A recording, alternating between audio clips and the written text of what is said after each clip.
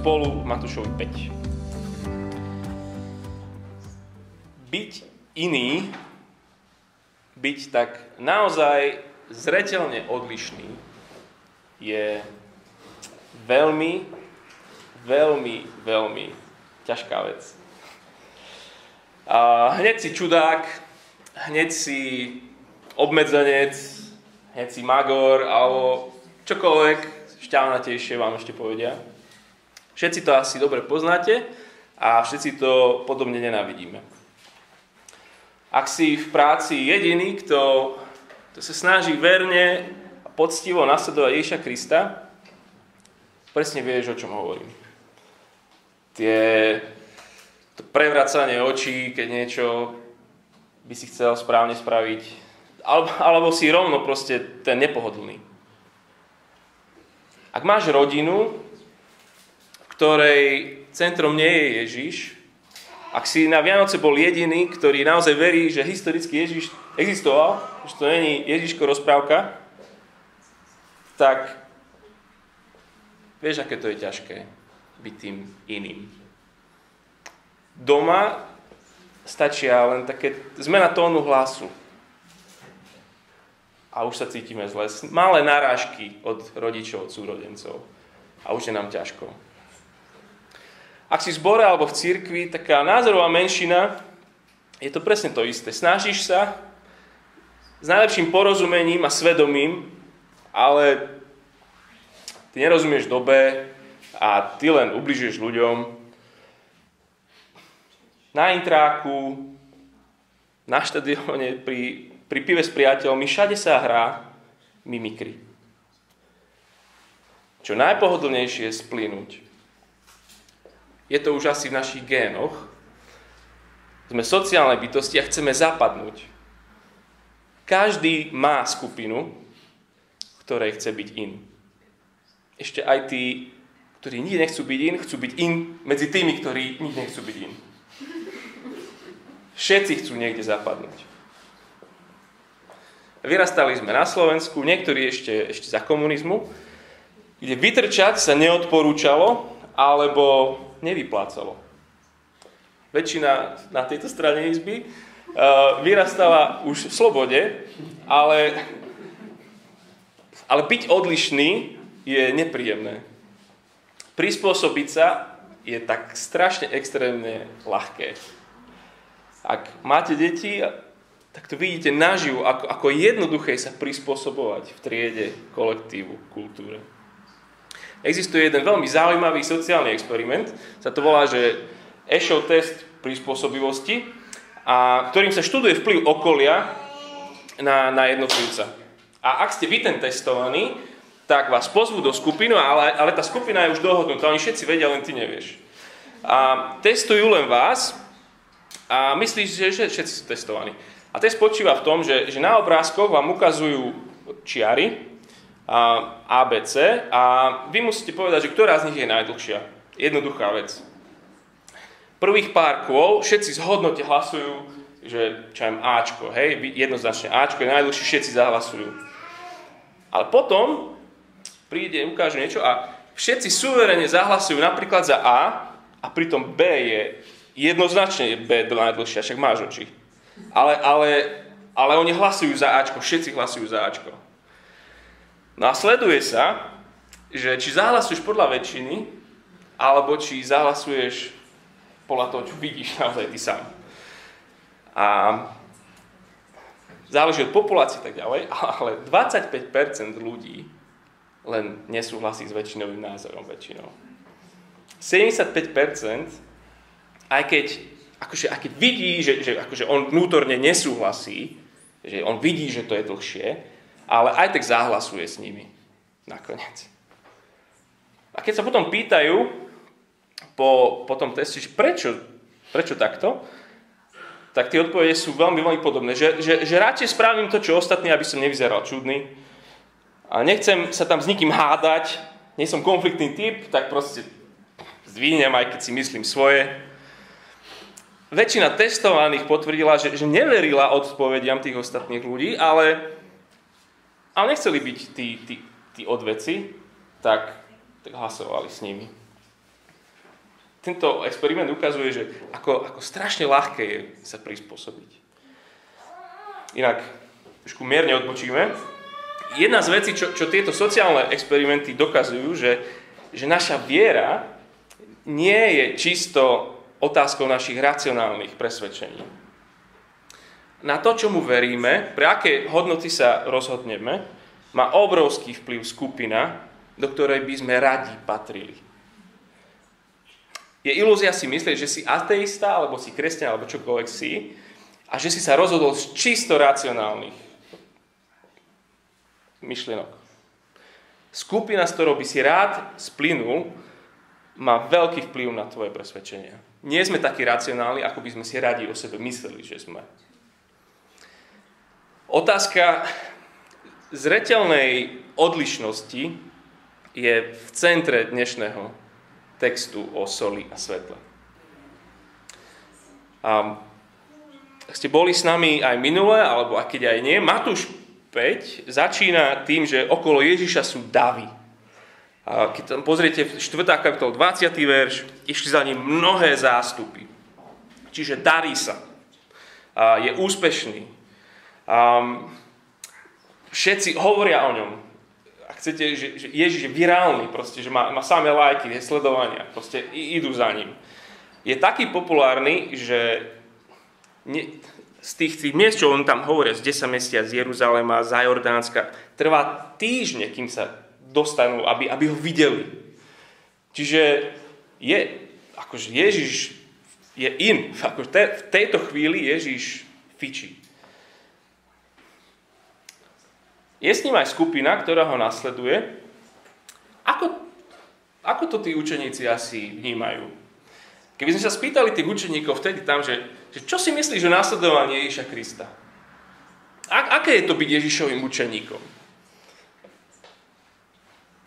Ty, chlape, je to, je to wow. Je to, je, je to výnimočné. Tešíme sa popularite, život s Ježišom je super, všetci nás vyhľadávajú, ide to parádne, zavidia nám ľudia. Kto by nechcel byť s ním? Tam, tam on prinašali všetkých chorých, rôzne neduhy, utrpenia, posadnutie, on všetko liečil, všetko sa darilo. Možno im závidia, že ja by som chcel byť takým, a ja by som chcel byť učeníkom Ježiša Krista. Kto by nechcel byť s nimi? Sú na tej správnej vlne. A kto vie, kam ich táto vlna nakoniec dovedie? A Ježiš práve preto si s nimi sadne a jeho kázeň je v prítomnosti týchto veľkých, veľkých zástupov adresovaná práve týmto chlapom alebo tejto skupine učeníkov. V kázni opisuje, čo sme videli naposledy v tých blahoslavenstvách, že to je Bohom požehnaná komunita. Čo to znamená byť Bohom požehnanou komunitou? On je Ježíš, je, je kráľ, a toto sú ľudia jeho kráľovstva. Tak aké, aké to je byť človekom Božieho kráľovstva? No, ten opis sme videli, že vôbec nie je to, čo by sme čakali.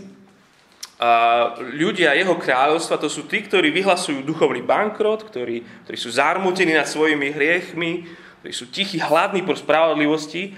Čiže asi nič z toho, čo, čo práve oni tam zažívajú. Žiadna sláva, žiadna popularita, nič, nič také. No a a zaklincuje to tým úplne posledným. Verš 10 si pozrite. Blahoslavený, prenasledovaný pre spravodlivosť. Lebo ich je nebeské kráľovstvo. Sme hovorili, že, že spravodlivosť um, tu u Matúša znamená, že byť spravodlivý znamená byť ako Ježiš. Čiže blahoslavený, prenasledovaný za to, že ste mne podobní. Skúsi predstaviť tie tváre tých učeníkov naspídovaní z toho, čo sa deje, nadšení z úspechu. A keď počujú blahoslavenstva, postupne im, im úsmev zamrza a nastúpuje taká nechápavá tvár, pozerajú jeden na druhého, že, že či dobre rozumieme, čo, čo tento rozpráva. Ne, nevidí on ten úspech, tie zástupy, ktoré tu teraz idú? A tie blahoslavenstva to je také, sú také, také všeobecné. Že blahoslavení tí, tí, tí oni, tí všetci. Blahoslavenstvá sú v tretej osobe. Že blahoslavení oni, tí, tí oni. A dnešný text, keď ste si všimli, celý je v druhej osobe. Blahoslavení ste vy. 11. verš. 13. verš. Vy ste solou zeme. 14. Vy ste svetlo sveta. Dnes im už naozaj musí dojsť, že káže tým, ktorí ho nasledujú. To, čo charakterizuje ľudí, ktorí nasledujú Ježiša, nie je popularita či závidenia hodný život. O čom tu Ježiš hovorí, je neprehliadnutelná inakosť. Neprehliadnutelná inakosť a jej dva dôsledky. Prenasledovanie a príťažlivosť. Tak najprv však o tej neprehliadnutelnej inakosti. Počítam ešte raz tie verše 13 až 15. Vy ste sol zeme. Ak sol stratí slanú chuť, čím ju osolia? Už nie je na nič súca, len ju vyhodiť, aby ľudia po nej šliapali. Vy ste svetlo sveta. Mesto, ktoré leží na vrchu, sa nedá ukryť. Ani lampu nezažnú a nepostavia pod mericu, ale na svietnik, aby svietila všetkým v dome. Čo chce Ježiš povedať o svojich nasledovníkov, keď im hovorí, že sú soľou a svetlom? Že soľ konzervuje a že, že církev je vo svete na to, aby zabraňovala k tomu, aby svet sa rozkladal, aby hnil. Že svetlo naopak je niečo, čo, čo vyháňa tmu, že, že církev je tu na to, aby evangelizovala. Obe sú pravdou. Isté, že církev je tu na to, aby, aby zabraňovala rozkladu morálnemu a hoci akému spoločnosti. Církev je tu na to, aby, aby zvestovala dobrú zväzť. Ale pozrieme sa bližšie, viac na ten text a pozrieme sa na tie metafory spolu. Čo ich spája? Čo, čo majú spoločné tieto? Je to o soli a kedy je sol zbytočná a je to o svetle a kedy je svetlo zbytočné. Sol je zbytočná, keď je bez chuti, svetlo je zbytočné, keď je schované. Hovorí o tej istej veci. Má jednu pointu má. A to, čo spája tieto obrazy, je to, že sol a svetlo sú, sú vtedy užitočné, vtedy sú, či majú byť, keď ostávajú kontrastné keď sú iné. Na čo je neslaná soľ a tmavé svetlo? Na nič. Tak ich vyhodiť. Sú hodnotné, keď sú čímsi kontrastným. Čiže učeníkom hovorí o, o neprehliadnutelnej odlišnosti. A všimnite si aj ten čas, ktorý používa.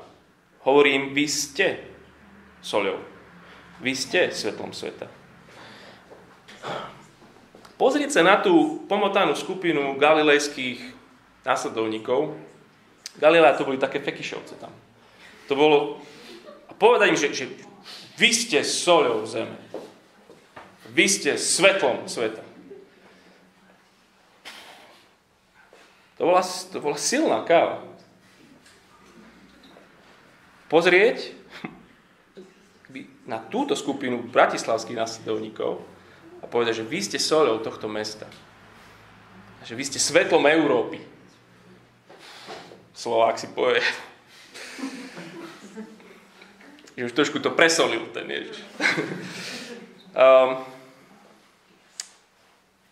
trocha zlý odhad, nemyslíš? Však, však len sa pozri, keby si ty len vedel Ježiš. Myslíš, že nevie? On vie. Ježiš sa nemýli. Charakteristika církvy sol a svetlo sveta. Aký je vplyv církvy? Vplyv? Len keď sme radikálne odlišní. Ježišové kráľovstvo vždy bolo, je aj bude v kontraste s kráľovstvom hoci ktorej doby. Nie je to nič nové. Uprostred zástupov tu má Ježiš víziu pre skupinu ľudí aby boli neprehliadnutelne odlišní, než je ten zástup na okolo. Možno to pochopíme viac, keď to dáme do, do negatívu, keď to celé otočíme. Že, že tento zbor nemá zmysel a vplyv, ak je neodlišiteľný od sveta okolo nás. Nemá to zmysel a vplyv. A tento zbor nemá zmysel a vplyv, ak je neviditeľný a je schovaný tom, v tom prvom texte, čo Magda čítala z Leviticus, sme čítali, že hospodin mal svoj ľud, Izrael, a ten mal byť odlišiteľne iný ako Egypt, odkiaľ idú preč, a má byť odlišiteľne iný ako Kanán, kam akurát idú. Do takej miery bude odlišný, do akej bude poslušný Božiemu slovu z vrchu Sinaj. A tu v Matúšovi teraz sme na inom vrchu, nie je Sinaj, ale pointa je presne tá istá. Posledný verš tejto kapitoly, keď na budúce uvidíme, že, že práve že ideme do tej poslušnosti, tie, tie ďalšie verše 17 až 48 sú práve o tom. Posledný, posledný verš je, že vy teda buďte dokonalí, aký je dokonalý váš nebeský Otec.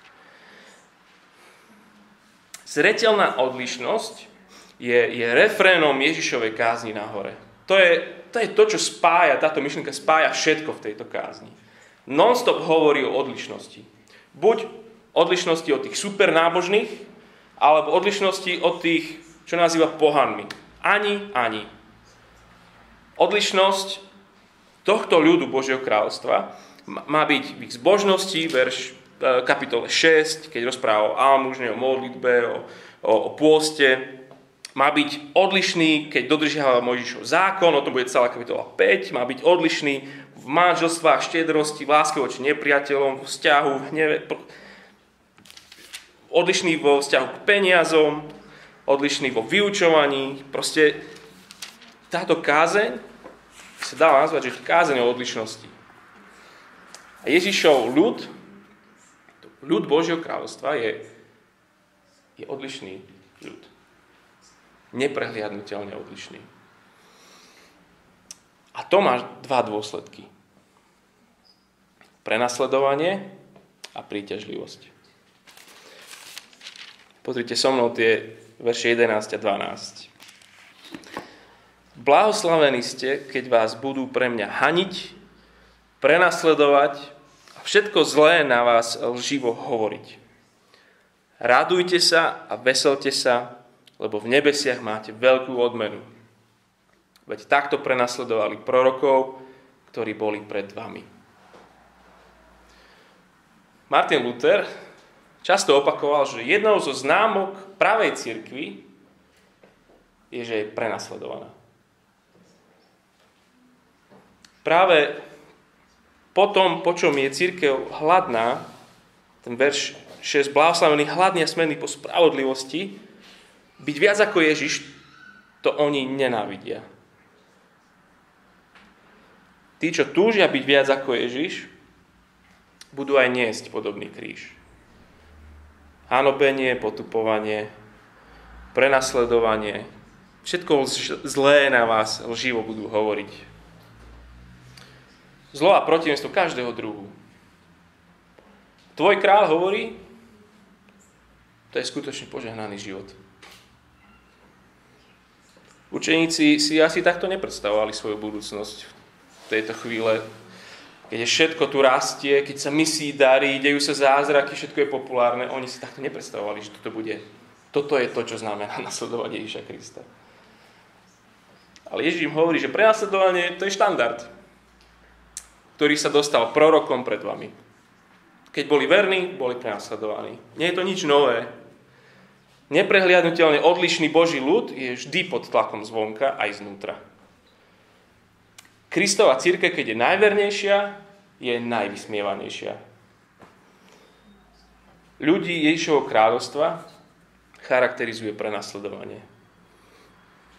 V práci prevalujú očami, keď to chceš spraviť správne doma na Vianoce narážky na tvoju vieru. V církvi si ten zádubanec, potupovanie, výsmech, pohrdanie. V nebesiach máte veľkú odmenu. Takže radujte sa a veselte sa. Toto nám je tak vzdialené. Byť iný, byť naozaj zretelne odlišný je veľmi, veľmi, veľmi ťažké. Pamätáte ešte na ten text z úvodu? Že naša vlast je v nebesiach. A kto, na čo nám najviac záleží, je tu, alebo v mojom byte, alebo v tomto meste, že reálne to, to niekde tu, či to je človek alebo, alebo nejaká vec, moja kar, niečo, tak poprvé nebudeme vôbec odlišní a po druhé, ak aj trochu sme, tak sa prispôsobíme väčšine veľmi rýchlo. Aj keď vieme, že oni nemajú pravdu, ale my sa prispôsobíme. Vieme si to vôbec predstaviť, takto žiť? Že, že si pod pálbou, je ti ubližované, a ty prežívaš nefalšovanú radosť. Ježiš presne vie, na čo chce pripraviť týchto svojich následovníkov. Oni by si radšej vychutnávali tento moment. Tú slávu a úspech a popularitu. Týchto učeníkov čoskoro vyšle do celého sveta a z učeníkov budú mučeníci. O tom je tá druhá Ježišova kázeň. My vravili, že Matúšovi je 5 Ježišových kázní, tá druhá je presne o tomto, že, že učeníkov budú mučeníci. A ak ti už bliká kontrolka, že toto tu už nie je ako na seminári džihadistov, že, že učeníci, mučeníci chodia, ktorým Allah sľubuje odmenu v nebesiach, keď, keď budú mučeníci, tak, tak kľud, pokoj. Títo chlapci Následujú Boha, ktorý, ktorý neberie, ale dáva svoj život za svojich protivníkov. Oni budú prenasledovaní, lebo sa viac budú podobať na tohto kráľa. Budú nepohodlní, ako pre tých supernábožných, tak budú nepohodlní aj pre tých sekulárnych. Ale znova ako Luther pripomína, to je len známka, že církev je pravá. Neprehliadnutelne odlišní sú prenasledovaní. A ten druhý dôsledok je, že neprehliadnutelne odlišní sú príťažliví. Alebo keď chceme lepšie slovo na P, tak možno, že použiteľný. Ten verš 16. Nech tak svieti vaše svetlo pred ľuďmi, aby videli vaše dobré skutky a oslavovali vášho Otca, ktorý je v nebesiach. Taký život žijú, že keď ich vidia ostatní, tak buď ich prenasledujú, alebo sú priťahovaní Bohu. Buď si hovoria fuj, alebo si hovoria wow. Fuj ty, alebo wow, Boh. A všimni si, že, že ten verš nehovorí o tom, že na konci dňa si ľudia povedia, že akí super ľudia sú tí kresťania. A bodka. Pointa nie je, že sú to dobrí ľudia, ale pointa je, že sú to Kristovi ľudia. Ježiš tu hovorí, že, že najviac poslúžime svetu, nie keď budeme na nerozoznanie od sveta, keď budeme sa zhnať za presne tými istými úspechmi, presne za tými istými vecami, každý okolo nás. Ježiš hovorí, že, že najviac poslúžime svetu, keď budeme odlišní. Hľadáme vplyv, tak sa neprispôsobujme. Sme zbytoční, ak sme rovnakí. Pozrite sa na tú skupinu Galilejčanov a s úšklapkom sa pýtate, no fakt, aký, aký vplyv bude mať táto cházka na dejiny ľudstva. To isté by ste mohli povedať o nás tejto miestnosti. Ako rodič uvedomujem si, že, že moja dobrá reputácia je zviazaná s tým, ako sa správajú moje deti. pani vychovávateľka Žalmanová, lebo tak to musím povedať, si o mne momentálne myslí, že som prvotriedný otec. A to len kvôli tomu, že v školskom klube, či družničiach to volá, a bola to, že, že mám svoju dceru. Takže minule ma stretla a proste mi povedala, že už, už vie, prečo moja dcera taká krásna. Čo vám poviem? Čiže deti šikovné, otec šikovný. Ježiš tu hovorí o nás, že sme deti nebeského Otca. Chápeš? Boh svoju reputáciu ako Otca zveril nám. Jeho verejný imič dal tebe a dal mne. Čo si ľudia hovoria o Bohu, keď vidia môj alebo tvoj život? Čo si ľudia hovoria o Bohu, keď sa pozrú na tento zbor? Fú, Boh je živý. Boh je mocný, Boh je milostivý. To si povedia. My nosíme Kristovo meno. V krste si bol spojený v jedno. Si bol pokrstený do mena, v meno Boha Otca, Syna i Ducha Svetého. Svojim kolegom zajtra, deťom, manželovi, susedom reprezentujeme Boha. Výsada a zodpovednosť. Možno si pritlačený ťarchou veľkých životných otázok, veľkých životných problémov. Možno beháš po doktoroch, máš to zložité v manželstve, deti sa nevyvíjajú tak, ako si chcel, aby sa vyvíjali. Ale ty nemrmleš, nestiažuješ sa. Si prvý, kto sa kolegovi snaží pomôcť, keď prerába byt.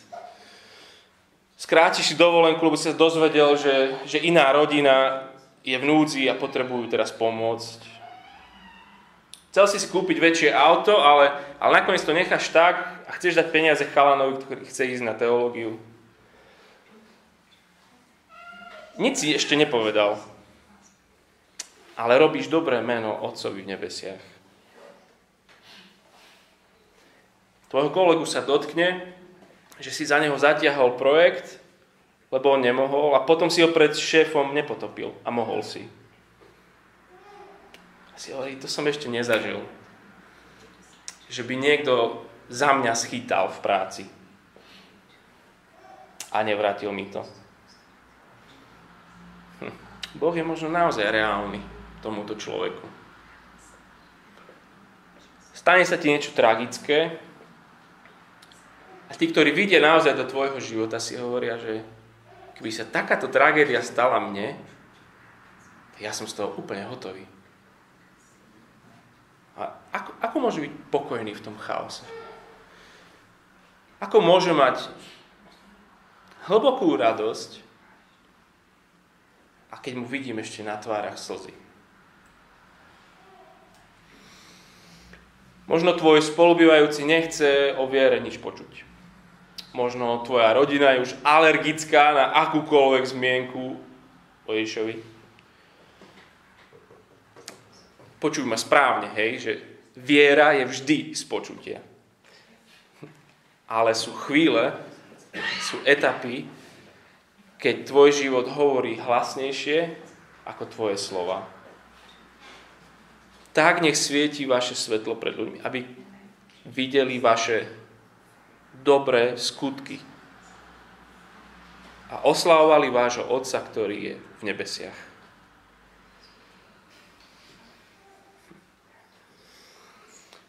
Ten, ktorý káže túto kázeň, je syn s veľkým S. Boh Otec všetku svoju reputáciu, celý, celý svoj verejný imič, skôr ako ho zveril týmto svojim následovníkom, ho zveril svojmu synovi. Jeho syn každým gestom, každým slovom, každým skutkom oslávil Otca, ktorý je v nebesiach. až tak, že hovorili, že, že povedal, že, že vidieť syna je vidieť otca. Jeho otec nebeský bol veľmi hrdý na neho. Pozrite stranu predtým, kapitola 3, verš 17. Keď, keď je krstený Ježíš Kristus. Keď prichádza, alebo krstený Jánom Krstiteľom, z Boha Otec, z neba Boh Otec vykríkne. Čo vykríkne? Toto je môj milovaný syn, v ktorom som našiel záľubenie. Toto je môj jediný syn, miláčik nebes, ja ho milujem, tohto syna. A posielam ho žiť zretelne odlišný život, ktorý ste mali žiť vy a nežili ste. A posielam ho zomrieť smrť, ktorú ste vy mali zomrieť, ale nezomreli ste. Posielam ho zhromaždiť nový ľud, ktorý bude naozaj zretelne odlišný. Áno, bude prenasledovaný, to je, to je normálne. Ale bude aj priťahovať svojimi skutkami ku mne, k Otcovi. Môžeme sa teraz modliť v tichosti, každý a rozmýšľať nad zretelnou odlišnosťou,